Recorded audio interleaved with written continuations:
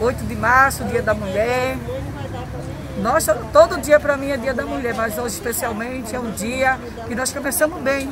Começamos fazendo o que gosta, fomos para a rua, lutar, é, abrir a boca, é, reivindicar nossos direitos como pessoas mulheres, guerreiras, donas de casa, é, chefe de família e muitas vezes esquecido pelo poder público. E hoje fomos para a rua reivindicar nossos direitos.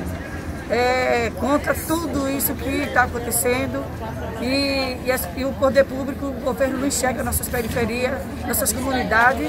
E hoje, como mulher, fomos para a rua reivindicar nossos direitos.